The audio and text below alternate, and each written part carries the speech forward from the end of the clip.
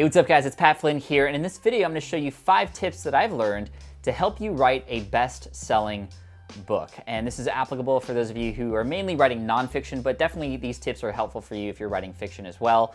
Um, and the main thing to realize here is that these aren't just writing tips, how to write a book.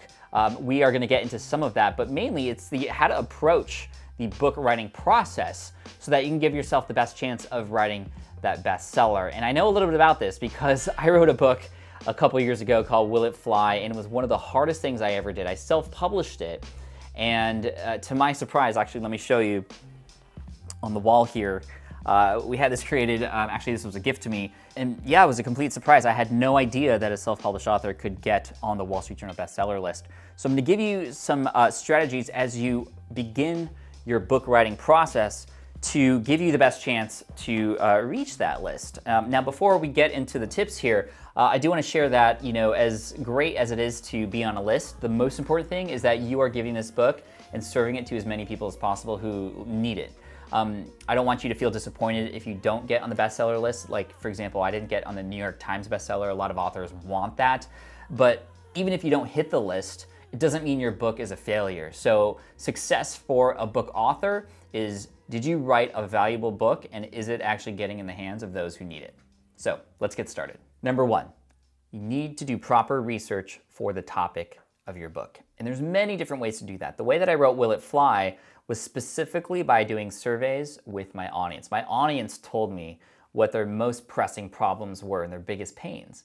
And that's what helped to inspire what Will It Fly became. Will It Fly is about how to test your next business idea so you don't waste your time and money. And literally, that tagline there came directly from many people's surveys because they were worried about wasting their time and they were worried about wasting their money. So I didn't have to guess anymore what the topic was going to be about. It was about, okay, how can we create a business such that you're not wasting your time or you're wasting your money? In this way, it's specifically written with that reader in mind. And number two, they also know that this book is for them if that's a problem that they have. So that's running a survey. Now, likely you already have an idea of the kinds of things you want to talk about.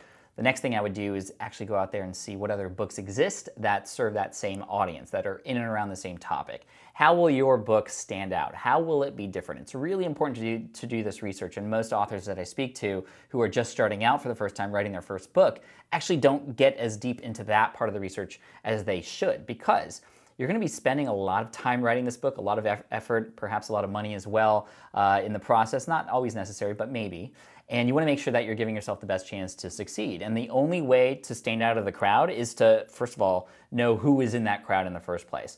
How will your book be positioned in a different way? That's really important to research and understand first up front before you put any time and effort into this project. Okay, number two, validate your topic idea. All right, so you've researched the topic, now you wanna go and validate it, and that's actually what this book, Will It Fly, is about. It's about taking these big projects, like writing a book, and shrinking them down into little litmus tests so that you can gauge the response and just determine whether or not that's something you want to move forward with. And you can do that with your books. A couple ways you can do this. Number one, um, you can just simply write a blog post or create a podcast episode about the topic that you've researched for your book. And you can gauge uh, based on the number of downloads, the traffic, and especially the comments, especially if you have any call to actions, for example. Um, by the way, if you want to learn more about this topic or if you're interested in hearing more about this, leave a comment below and let me know. Or what other things about this do you want to hear about? That way you can kind of get a feel for, okay, does this actually resonate with the audience that you have? Number two, you can take it up a notch and do like what my friend Darren Rowse did from ProBlogger.net. He uh, wrote a book called 31 Days to Build a Better Blog. And a lot of people don't know this, but it was actually a series of 31 different blog posts that were then put together into a book. And so because the blog post series did so well, he knew that this was going to be a, a, book that he could sell. And even though it's the exact same material, people like the fact that it's in a book, it's a lot more convenient and it just feels more real. Um, and likely when people are investing in something like a book with that kind of instruction, they're going to be more likely to take action as well. So that book has done very well. I've purchased it myself and it still continues to sell and make passive income for Darren even years later. Now, instead of a blog post series, you can take this up one notch and collect email addresses to validate, okay, yes, this is a topic that people want more information about. They're giving me their email address, so likely it's something that they want more information about. Michael Hyatt did this with his book Living Forward, which at first was just a PDF file that you can download in exchange for an email address. But because so many people downloaded it and offered their email for it, he knew that this was something that he wanted to expand later into uh, a much bigger project like a book. And this book did very, very well. It got on the top of, of a lot of the charts.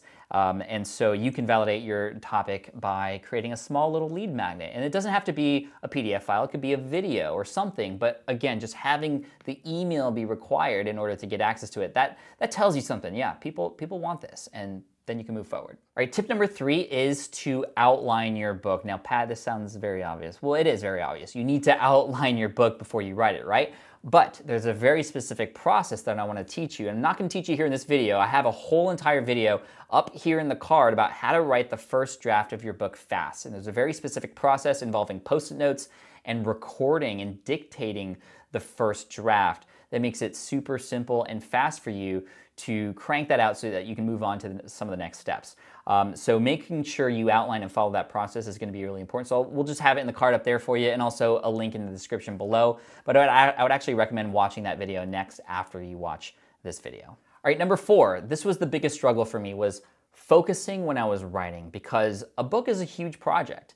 And I could crank out a 5,000 word blog post in just a few hours very easily. But when it came to writing this book, which involved multiple chapters and multiple parts within chapters, it just became this thing that in my head was just so hard to figure out. And I wanted every word to be perfect, and it just became a struggle. And I saw this big list of all the things I needed to write that I hadn't even started yet. It just became very overwhelming. I actually stopped writing Will It Fly for a good couple months just because I got so overwhelmed. But I hired a book coach and I got some advice. And the best piece of advice I got was treat every individual chapter as if it's its own blog post. And I was like, that's so genius. And that makes complete sense. Why didn't I think of that? So you can take that one post-it note and have that just be the one thing that you're gonna focus on right now. It might be one chapter, it might be one story within a chapter if you've outlined it to that detail. Then all of your focus is on that, all of the writing is about that, all of your research is just about that only, and everything else kind of disappears and you can focus. I use a, Google Doc for every individual part of my book so that I'm not distracted. I used to use Scrivener and that's a great tool that a lot of people use as well, but I just got so overwhelmed by seeing, okay, I'm only writing like this one part of the 50 parts of my book.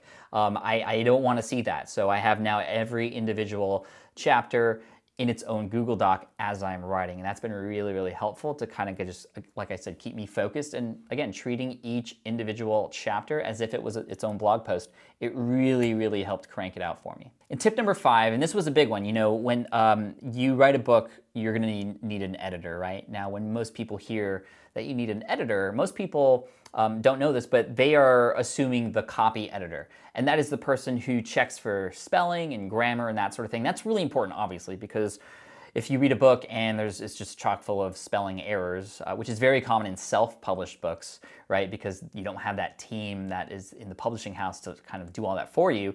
Um, it just leaves a bad impression, right? So you need a copy editor. Yes, and there's a lot of resources. I'll put some resources uh, down below in the description for you. But more important than that, I feel, is the developmental editor.